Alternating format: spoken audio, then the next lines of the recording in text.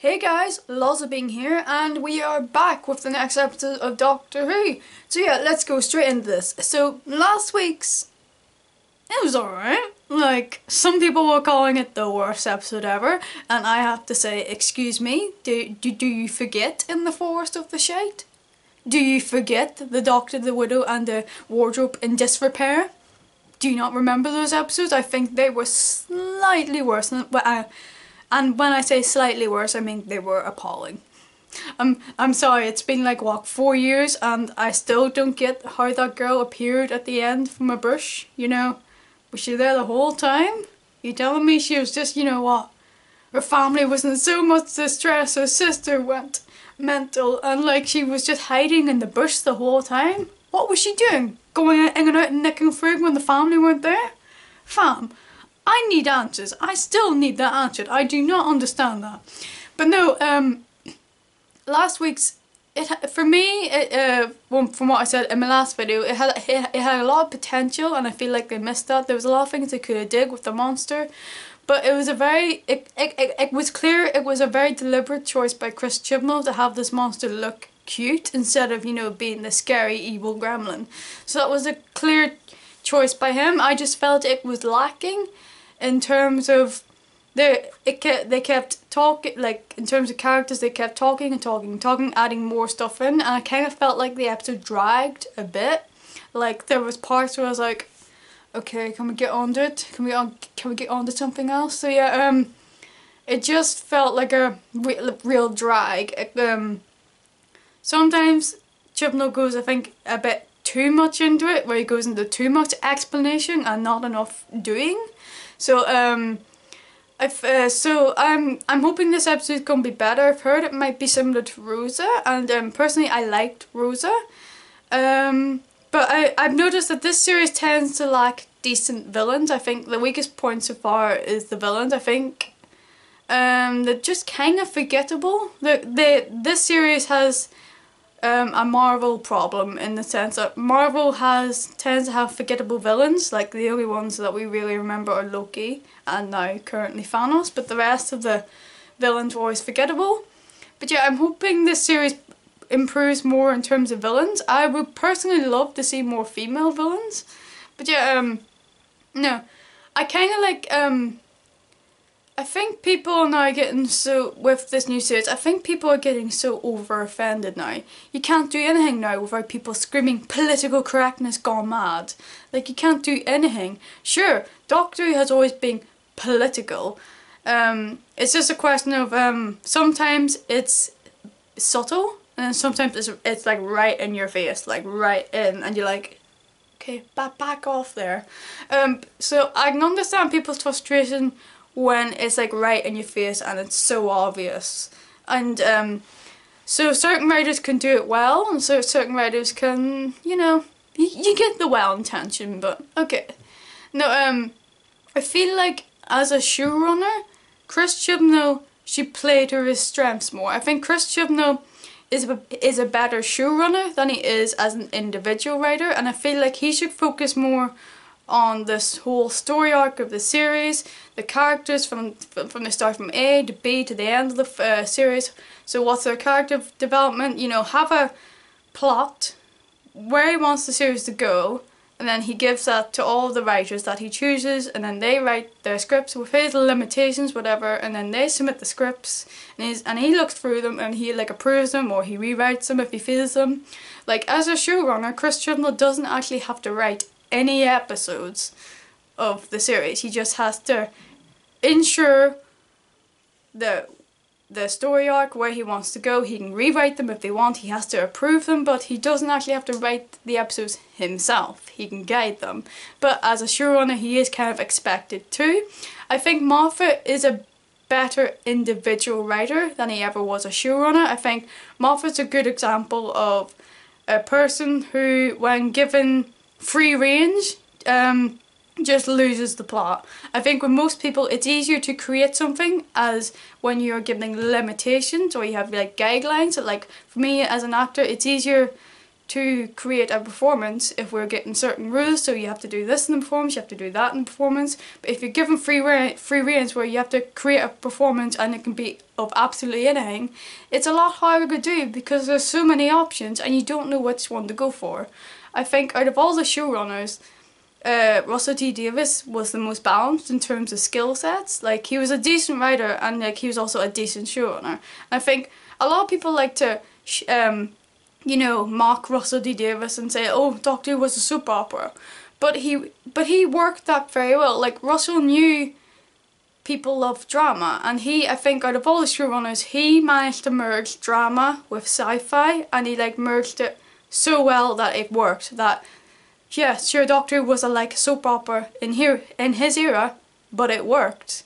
Like people were raving about it. Like uh, casual viewers loved it. Doctor Who fans loved it. Like for the most part. But no, that's just my. But that's just my personal feelings. So let's just get on with this reaction. So enjoy. Hmm. That's a nice cake. The first woman married in Pakistan. Did you know this? And I was the first Muslim woman to work in a textile mill in South Yorkshire. Grandad taking you dancing every Wednesday night. Oh. I so miss that man. Now, I want to give you these things before it's too late. Najia, these are some letters your father wrote to me when he was away. Don't read the filthy bits. Sonia. Don't read the porn This there. is a present your grandfather gave me. I can't remember why, but it's nice. This is one way to celebrate your birthday. Now, Yasmin, my favorite granddaughter. What? Mummy, what? I've told you about that. I want you to have this. I mean, at least she ain't shy about having a favourite. Thank you. Was it It's Gra- telepathic too. Don't call her a thing, Graham. And yes, she does have telepathic navigation, sort of. Shorthand for a very complicated process which is way beyond your understanding. Tar very much. I only hang around here to be insulted. Any object amasses all sorts of I just fragmentary love spatial Graham, I'm sorry. through its life. The TARDIS can read it, like date stamps. What do you two reckon? Oh yeah, love it. Pakistan. Never been there before. Another one off the bucket list. Long as there's no killer turtles. Yeah, I'm well up for it. I'm sorry. Can I just What hear now? the story about the No, killer turtles? Looks pretty northern Punjab. What the hell? Hey, get out the road. Yo, what was Really that? sorry. Bit of a wobble. What just happened? Not sure. But I didn't like it at all. What, did you have like a... Sorry, mate. Vision? Just getting our bearings. Been up from round here. Yeah, no kidding. Did you have like a Harry Punjab Potter is not bad for here? foreigners, though. You need to. You look amazing. What are you doing here? But don't not mess up timelines. But I thought Like Ma. Marty McFly. I'm so Would her happy to see grandma you. not remember So, yes, a girl that looked exactly like her granddaughter in Sorry. the future? No. You can't be. You're not my wedding in the Punjab. Bring it on. Oh, boys. okay. Oh, yeah, I can go to so she's every day if I marrying someone that Hey, isn't do you need to sing all the classics or latest hits? Do you not? Don't ever let him sing. We won't be staying long anyway. Just wanted to convey our best wishes. And then head off. I love you, brother, but you're wrong. Oh, Look! What? Demons!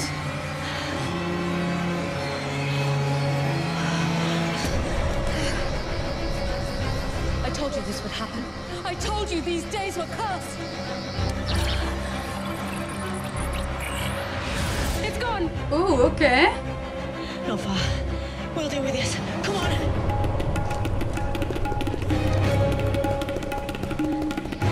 They're using the bongo music. Whoa. Are they telepathic?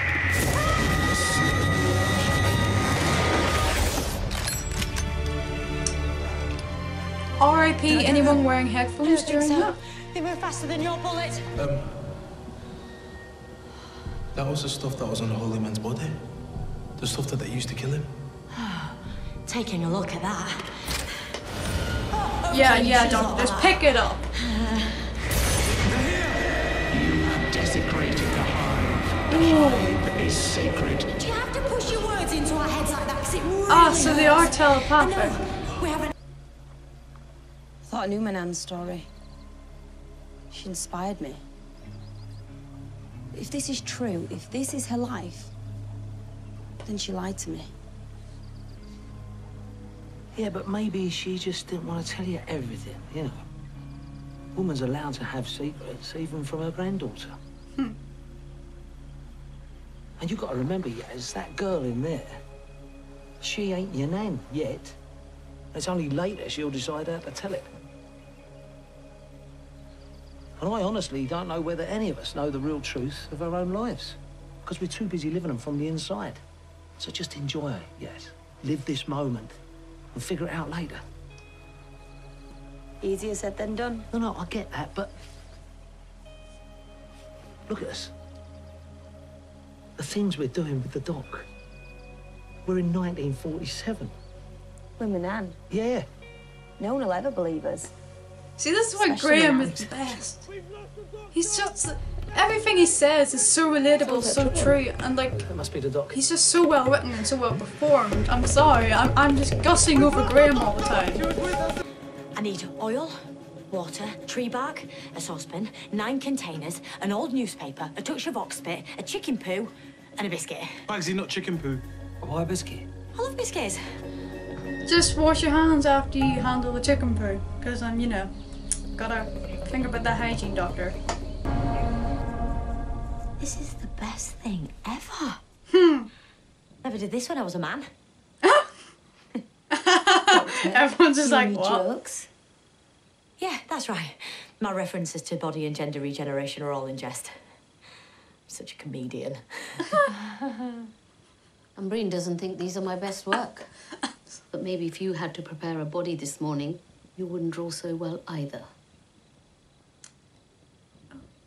So, is all that remains of our home, our people, every ancestor. All one dust. I didn't know. I'm so sorry. They died unwitnessed, unsaved. We were too late to grieve or honor them. But we who returned gave up a hundred generations to sift, to remember the lost dead, the unmourned. In time, it was all we knew. And now we travel beyond, seeking The unacknowledged dead across all of time and space. This is now the Thijarian mission to bear witness to those alone, to see, to bear pain, So honor they're not life as actually it villains. passes. As each one passes, we commemorate union. That's what Prem saw you do to Kunal. Well, all we can strive to be is good men.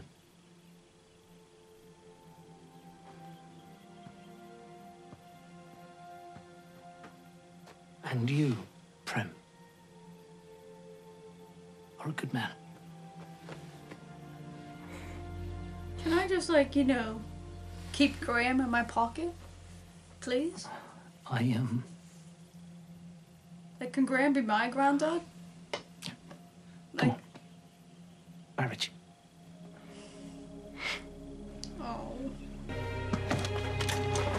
Swear, I swear Is to that what God. used to shoot the holy man? Your brother's rifle? Be quiet. What happened, Manish? Did it get out of hand? Did you scare yourself? Because you were too young for the war. You've never fought or killed anyone. I'm not scared of anything because this is my time to fight. Fight for what I believe. Killing a man because he might marry a Muslim and a Hindu, and then pretend you knew nothing. Take your friends and leave. If you want to get out alive. What have you done? Who's coming? Oh, sweet Jesus. Future. You son of a bitch.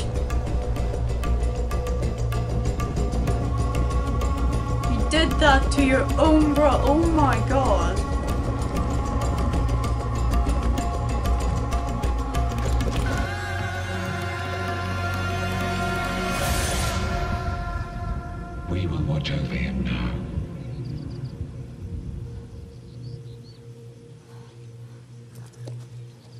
Please, Manish. Um.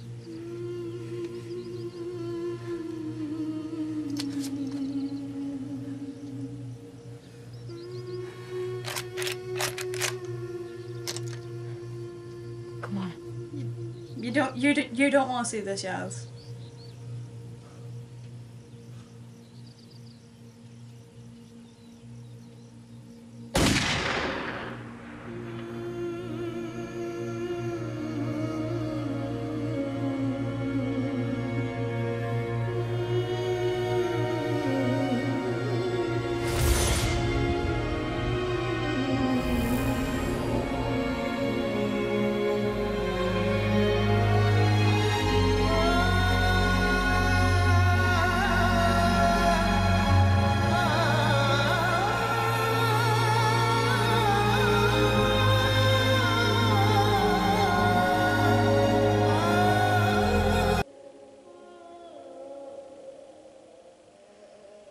It was a very, very character driven episode, very very emotional and um I, I imagine there'd be a lot of people complaining but political correctness had gone mad again you know we it was definitely we should celebrate what brings us together rather than trying to see our differences and trying to divide people. It's it's it's, a nice message I feel particularly for young people.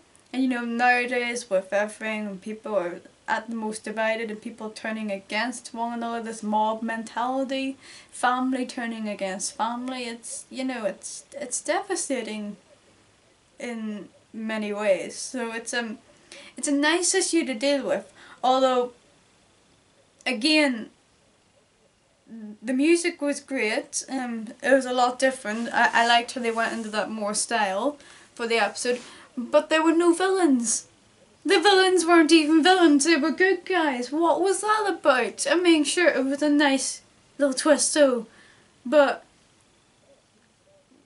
there was no threat in the, like, at least the other episodes had some form of threat. This was a very personal issue, more so for Yaz. There's more for the characters, it was like, as someone watching this, there was no threat for me. There was no.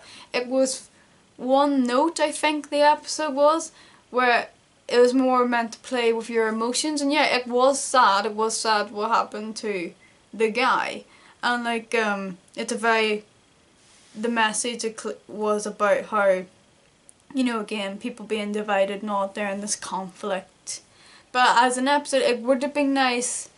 You see, Rosa I think Rosa had more of an edge because like um the bit where she is about to sit down in that bus there was so much tension in that one scene and the, the way it was done it was so powerful hitting so this episode it didn't capture the same emotions for me as when I was watching Rosa. Um, I get the message, I thought it was a nice message, I, I, I get the meaning, um, but again it's the I want a proper villain, not just a villain in the sense of look at what how bad how humans treat other humans and society. I want like a proper villain, like a, an actual person, like a threat. That would have been nice, but I get why they didn't want to take away from the historical aspect because it is very hard to do sci-fi and historical um, sci-fi is one of the hardest genres to write. So to combine that with a very, very,